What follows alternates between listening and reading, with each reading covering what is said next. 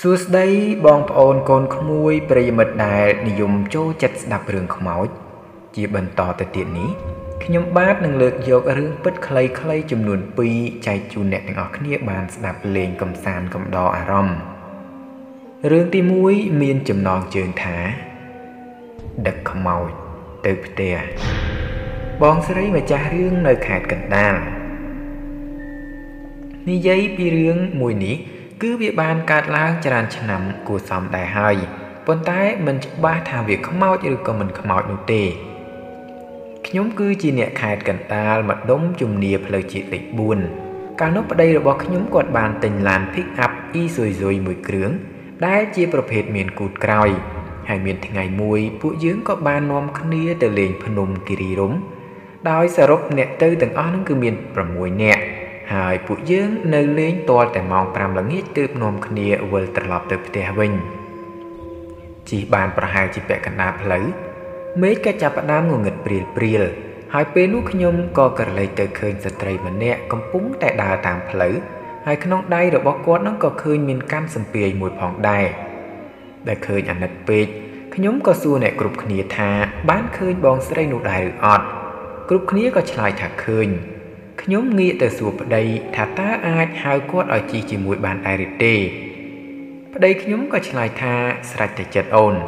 ដល់អញ្ចឹងទៅខ្ញុំក៏ប្រាប់ឲ្យប្តីឯទៅម្ខាងនិងបើកកញ្ចក់សួរបងស្រីនោះថាទៅណាគាត់ថាគាត់ដើរទៅផ្ទះដែលផ្ទះគាត់នឹងនៅម្ដុំស្ពានខាងមុខឯណោះឆ្ងាយគួរសមដែរឮអញ្ចឹងខ្ញុំក៏ហៅគាត់ឲ្យឡើងគូតក្រោយដើម្បីជិះទៅជាមួយគ្នាហើយពេលហ្នឹង ប្តីខ្ញុំក៏បានចេញទៅបើកគូតក្រោយឲ្យបងស្រីម្នាក់នឹងឡើងអង្គុយផងដែរបន្ទាប់មកឡានក៏ចេញដំណើរទៅមុខទៀត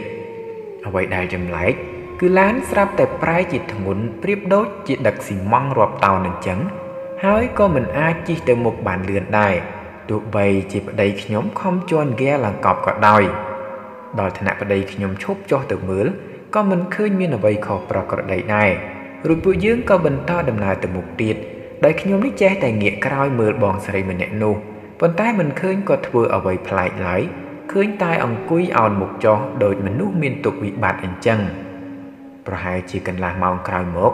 ឡានក៏បានទៅដល់ស្ពាន ហើយប្តីខ្ញុំក៏រអ៊ូដែរថាប្រវែងនឹងសោះជិះដល់កន្លះម៉ោងគ្រាន់តែឡានឈប់មិនទាន់នឹងចេញទៅបើកគូតក្រោយឲ្យផង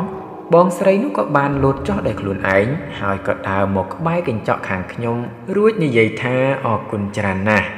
បន្ទាប់មកប្តីខ្ញុំក៏ចេញដំណើរទៅទៀតតែពេលក្រឡេកមើលទៅម្ដុំនឹងក៏ឃើញថាដូចជាមិនមានផ្ទះបងប្អូនប្រជាជនទាល់តែសោះវាមានតែព្រៃប៉ុណ្ណោះហើយបងស្រីម្នាក់នឹងក៏បានបាត់ទៅដែរមិនដឹងថាទៅណាឡើយ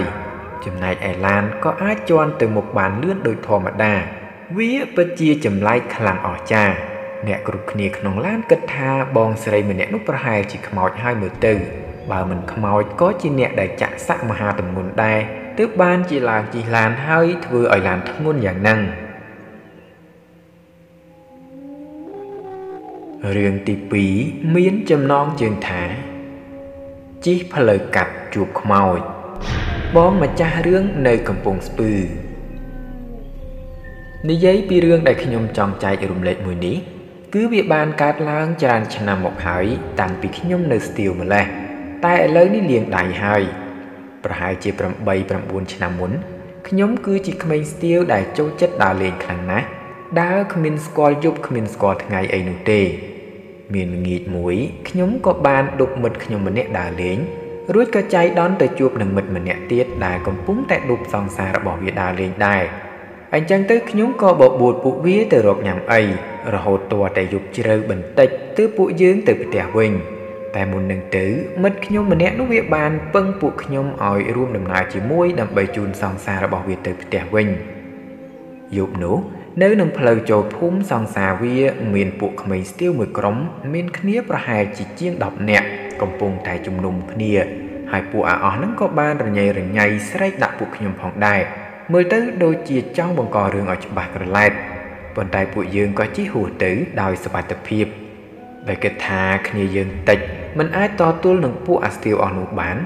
អាសម្លាញ់ក៏សួរសង្សារវារកផ្លូវកាត់ដែលអាចចេញពីភូមិនឹងបាន នាងក៏ចង្អុលប្រាប់ដោយបញ្ជាក់ថាផ្លូវនឹងវាជាផ្លូវខ្នងប្រឡាយហើយស្ងាត់ខ្លាំងណាស់មិនសូវមាននរណាប្រើឡើយក៏មិនមានផ្ទះអ្នកភូមិដែរ គ្រាន់តែថាវាជាផ្លូវកាត់ដែលឆាប់ទៅដល់ផ្លូវធំឮអញ្ចឹងពួកយើងក៏សម្រេចថាជិះផ្លូវកាត់នោះតែម្ដង ពេលជិះបានបន្តិចម៉ូតូមិត្តខ្ញុំដែលជិះម្នាក់ឯងនោះស្រាប់តែបន្ថយល្បឿនហើយវាក៏ងាកមកសួរពួកខ្ញុំដែលជិះពីក្រោយថាម៉ូតូវានឹងបែកកង់មែនឬទេមិនក៏វេវេហើយជិះតឹងខ្លាំងម្ល៉េះខ្ញុំក៏ឆ្លើយថាអត់ទេព្រោះឃើញកង់ម៉ូតូវានឹងនៅធម្មតានៅឡើយមួយផ្លែតក្រោយមក ខ្ញុំក៏ជិះវ៉ាវាទៅមុខព្រោះដោយសារតែហុយខ្លាំងពេកដល់ពេលមើលកញ្ចក់ស្រាប់តែឃើញស្ត្រីម្នាក់មុខឡើងសដូចក្រដាសកំពុងតែជិះពីក្រោយមិត្តខ្ញុំដែលជិះម្នាក់ឯងនោះ ដល់ពេលងាកទៅមើលផ្ទាល់ភ្នែកបែរជាមិនឃើញអ្វីលុះមើលកញ្ចក់ម្ដងទៀតក៏នៅតែឃើញទៀតខ្ញុំស្រាប់តែកើតចិត្តអាត្មានិយមរួចក៏មូលហ្គាទៅមុខឡើងដាច់ឆ្ងាយដោយភាពភ័យខ្លាចហើយអាមួយជិះម្នាក់ឯងនឹងក៏មូលតាមមកប្រគិប្រកិត ខ្ញុំមិនដឹងថាវាឃើញអ្វីដូចខ្ញុំឬក៏អត់នោះទេ តែពេលវាតាមមកតន់ខ្ញុំឃើញមុខវាឡើងភ័យស្លេកស្លាំងពេលមើលតាមកញ្ចក់ក៏នៅតែឃើញម្នាក់ស្រីនឹងដដែលប៉ុន្តែពេលឡើងទៅដល់ផ្លូវធំមើលតាមកញ្ចក់ម្ដងទៀតក៏ឃើញថាបាត់ម្នាក់ស្រីមុខសនោះហើយខ្ញុំបានរកកន្លែងមួយដើម្បីឈប់រួចក៏សួរទៅមិត្តម្នាក់ដែលជិះតែឯងហ្នឹងថាតើបានឃើញអ្វីឬក៏អត់មុននេះ វាឆ្លើយទាំងមុខស្លេកស្លាំងថា ឃើញប៉ុន្តែចាប់ពីត្រឹមនឹងទៅ ដូចជាមិនឃើញមានអ្វីតាមមុខទៀតឡើយរួចពួកយើងក៏ចែកផ្លូវគ្នាទៅផ្ទះរៀងៗខ្លួនតែម្ដងខ្ញុំមិនបានដឹងអំពីប្រវត្តិផ្លូវកាត់នោះឡើយហើយពេលសួរទៅសង្សាររបស់អាសម្លាញ់ខ្ញុំនឹងក៏នាងថាមិនដឹងដូចគ្នា